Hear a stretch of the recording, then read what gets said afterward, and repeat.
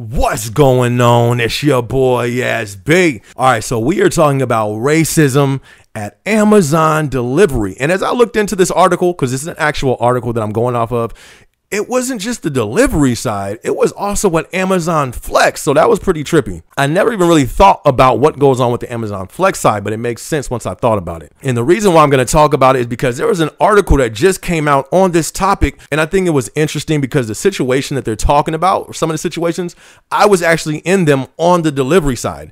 If you haven't been following my channel for too long, I've actually done racism at Amazon Warehouse. If you haven't checked that out, go check that out. So it's only right that we do it on the delivery side. And the reason why I do want to touch on these things, first of all, this one had a full blown article in the press about it.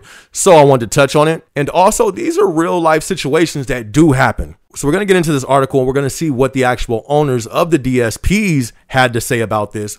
What Amazon spokesmen, because y'all know I'm not the spokesman nor a representative of the company, but what they said about it. Then I'm going to give my two cents on certain experiences that I've had in these situations. Then I'm going to talk about what you should, what you shouldn't do, all that good stuff. So let's get into it. Okay, so I'm going to read it and then I'm going to get out this uncomfortable position so I could be facing y'all again. But we're going to just start off with the article.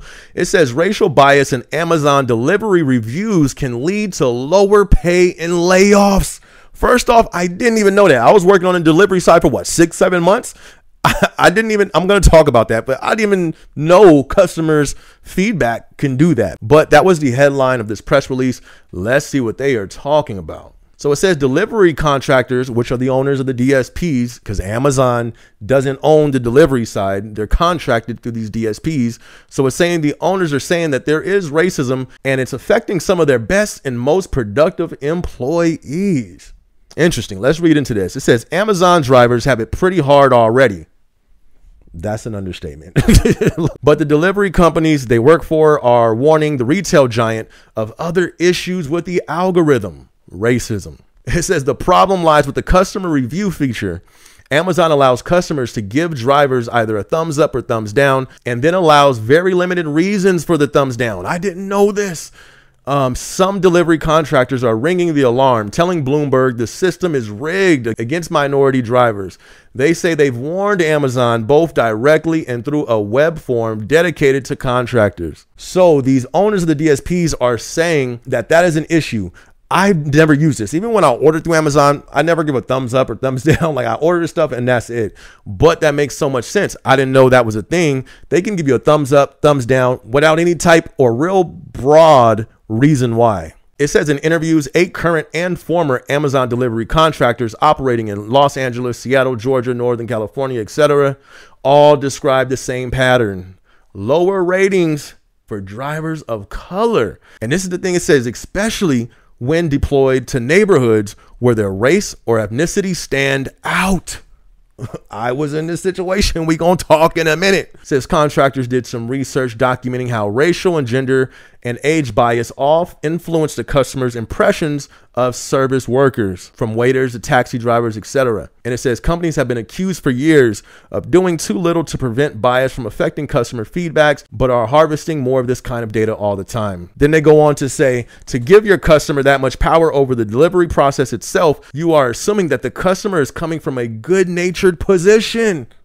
There's some good stuff right here, said the Amazon contractor in Northern California, who, like every other delivery firm, owners requested not to be known their relationship with the company. So then we go into the Amazon's um, representative and their response. They said, this is a spokesman for Amazon, told Bloomberg they were aware of the problem and were reviewing all available information, then taking appropriate action based on the facts available to us. It says they specifically highlighted blacklisting customers.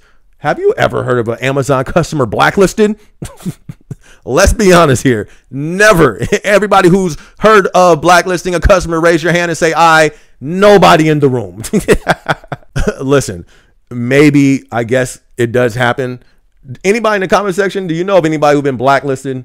I didn't even know that was a thing, but let's continue. So then they go into a little more detail. It says when a customer um, clicks the thumb down, a list of checkable options pops up, including such vague choices as Did driver not follow my delivery instructions? or The driver was unprofessional, that don't require any type of more information than that. The driver was unprofessional. That could be somebody whose shirt is untucked. That can be somebody's truck who's dirty. You feel me? It ain't even their fault. That could be somebody who has maybe a type of style of clothing that they don't like. That there's no that's so broad. the driver was unprofessional.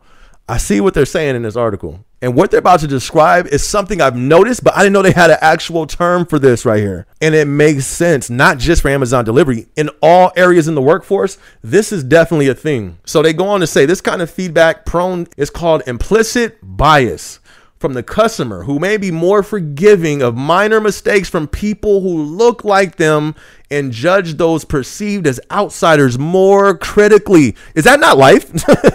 That's like life right there. Forget just Amazon delivery. That right there is a perfect way to describe a whole lot of what goes on. I didn't know they had an actual name. I thought of that term, but I didn't know it was an actual term and a name. What was it called? Implicit bias. We got to read that again for customers who may be more forgiving of minor mistakes from people who look like them and judge others who are perceived outsiders more critically. I've seen this in the warehouse. I've seen this at every job I've been to. So they're saying that this takes place on the delivery side for sure. These people, the owners of these DSPs, and they say that this is a trend. Then I'm going to read this last part right here, then going to get into my thoughts and all that stuff and my experiences. So it says it's certainly dangerous to leave the hiring, raises, and even firing decisions up to the metrics of the algorithm. So I didn't know that. If this is how people were getting raises due to the customer's response, very dangerous, very unreliable, just due to off the little things that they brought up right now it says this is the company that was found to be firing flex drivers automatically via email a few years ago. Artificially low customer scores can cause good workers to miss out on pay raises or even lose their job. I didn't even think of this taking place on the Amazon Flex side. That's a whole nother ball game because it's more of an issue or struggle on the Flex side, in my opinion. Because at least on the delivery side, you got a big old van that says Amazon. Hopefully, hopefully they ain't got you in the robber van, one of their little kidnapping vans that they be trying to put people in with no Amazon side. They say Hertz talking about oh go deliver at nighttime. terrible, terrible idea. Whoever thought Uncle Jeff we need to fix that part of the delivery side. But when it comes to the flex side, I would be out delivering in the van and see the flex drivers, and I'm like, that just don't look right. You feel me? It's dark, old car pulling up tinted windows, hopping out with a package. You know what I mean? And then you can finally see a vest. It's like, uh, I can see how people can use what is that implicit bias I can see how that takes place. So my experience with this, I was actually in one of these exact situations where it says lower ratings for drivers of color, especially when deployed to neighborhoods where their race or ethnicity stand out.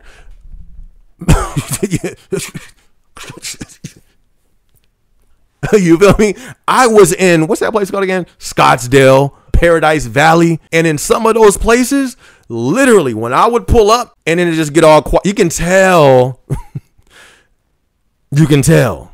But I've never thought about their responses for me or the customer review for my delivery. My whole six months, I never checked my customer thumbs ups. I didn't. I really didn't care. But throughout my whole six months, seven months, none of my um, dispatch or even the manager, they never came up to me and was like, "Hey, you get some bad customer reviews." But there was a few times where my dispatch was like, "Hey." y'all know where we delivering. Be careful and really make sure you're not even doing the little things wrong. You know what I mean? It was kind of put out there like, look, y'all know where we delivering. Let's just make sure we on point, which we should always do. But I'm not saying it verbatim because it kind of gave that vibe that they're talking about on here. So when it comes to the responses, like I said, I don't really know my responses that I got, but I know the responses in real life that I felt. There were plenty of times when I was in certain neighborhoods, there was a weird vibe. Just being a hundred, walking into certain complexes and certain living spaces that's gated. You feel me? It hits different. I actually said it in one of my delivery vlogs when I was in, I think it was Paradise Valley. When you enter in, first of all, they got gated communities for a lot of them, and those is multi-million dollar homes. But the thing is, and it's big land. You feel me? So the driveway, then you gotta walk all the way up to the house. When you get to the house, half of the house is glass. you feel me? And there was times where I've walked up to deliver the package and half of the house is glass, I see somebody right there on the bed looking right at me. And we don't look nothing like each other. You feel me? I don't have a problem with that. But me, I felt like uh, I didn't look.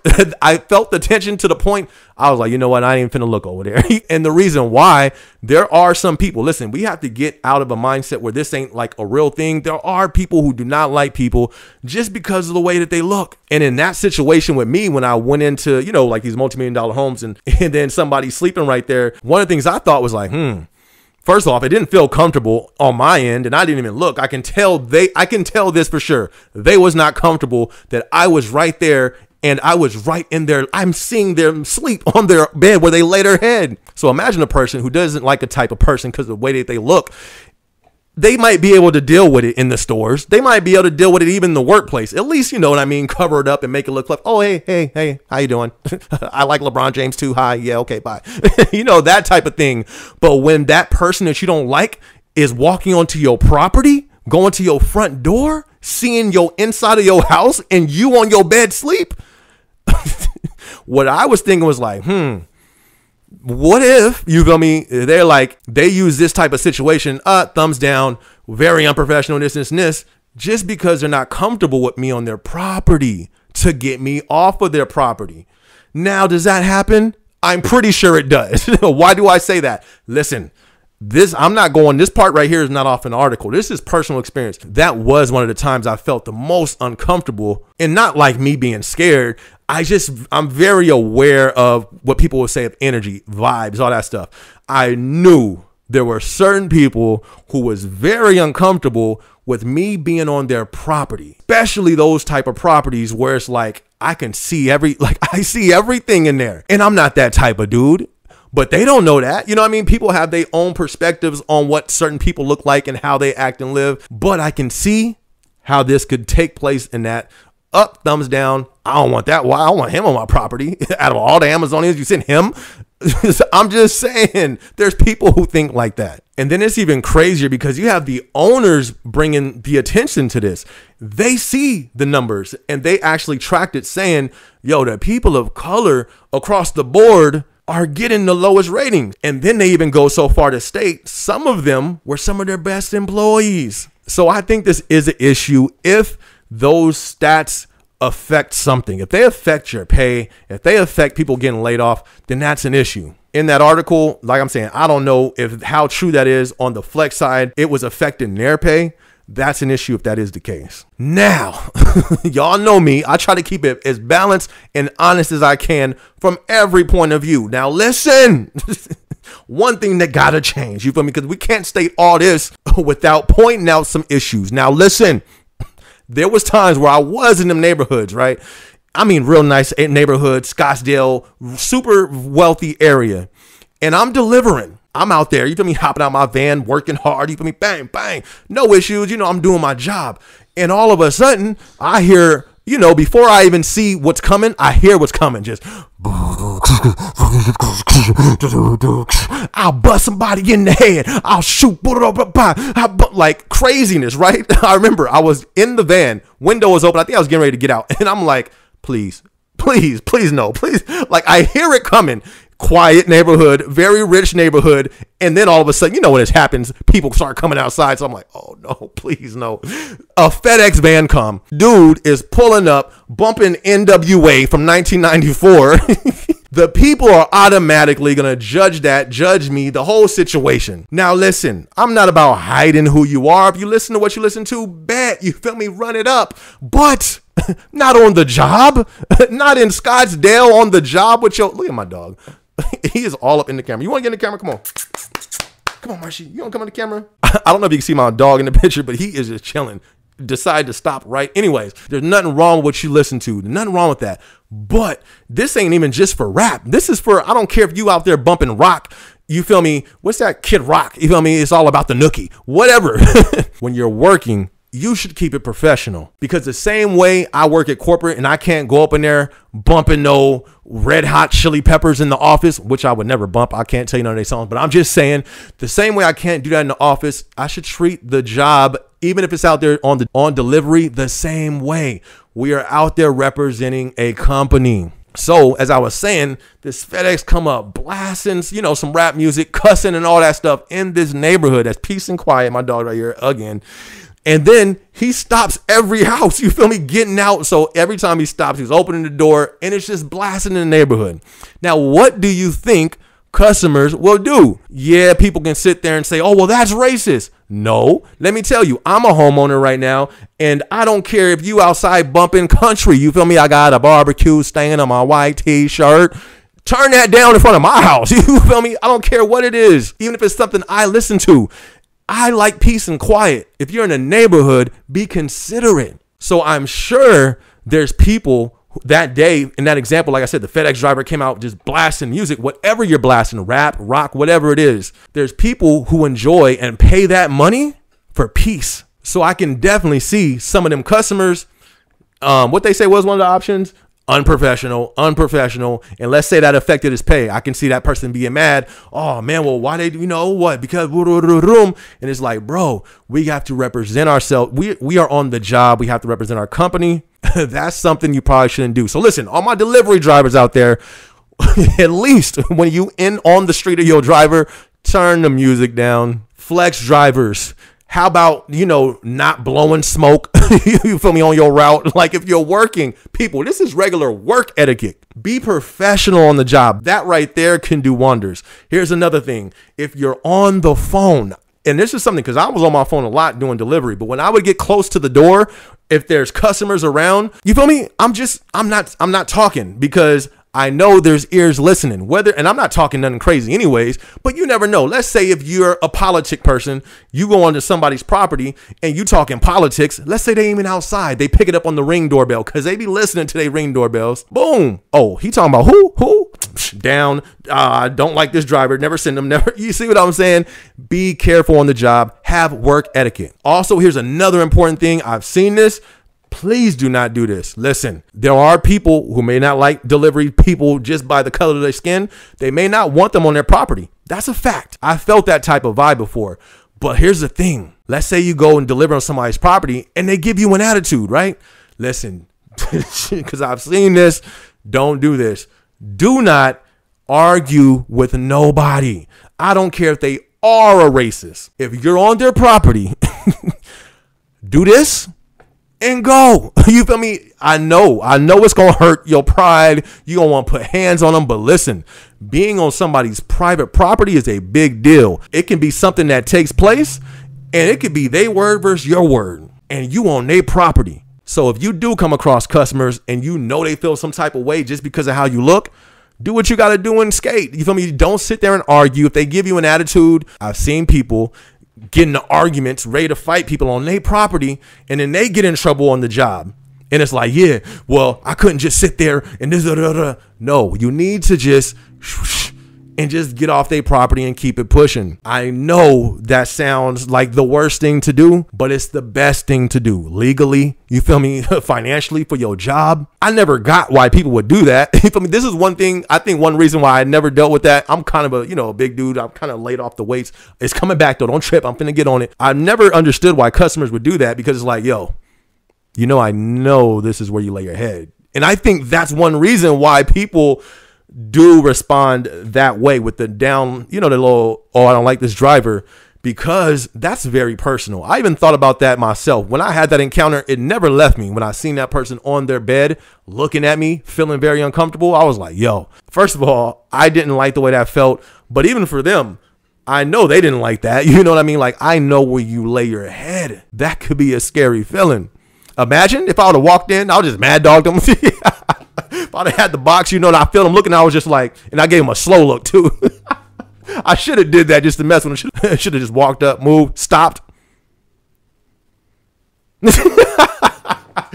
would have had a heart attack. Excuse me, sir. 911. but you feel me? They ain't gonna have me on no ring camera going viral talking about watch out for this driver. Anyways, listen, be careful. All the drivers out there, be careful. This is a real situation that happens. But anyways, you feel me? This video will be 30 minutes long. I hope you guys enjoyed that video. Be sure to hit the like button. Be sure to hit the notification bell if you haven't yet. Be sure to um, hit the subscribe button. Yes, I'm also an artist. I go by the name of SB. I just dropped my new EP called Dreams & Motivation. It is on iTunes, all that good stuff. Link will be in the bio if you want to check it out. And be sure to keep an eye out on the lives. We go live every Thursday at 7. Other than that, I'm going to catch you guys on the next video. It's your boy SB. Let's go. SB. SB. Welcome to the land of the motivated. Motivated value one. Let's go. Welcome to the land of the motivated. Setting goals and overtaking. I'm talking big moves, corporation. I'm talking big moves, corporation.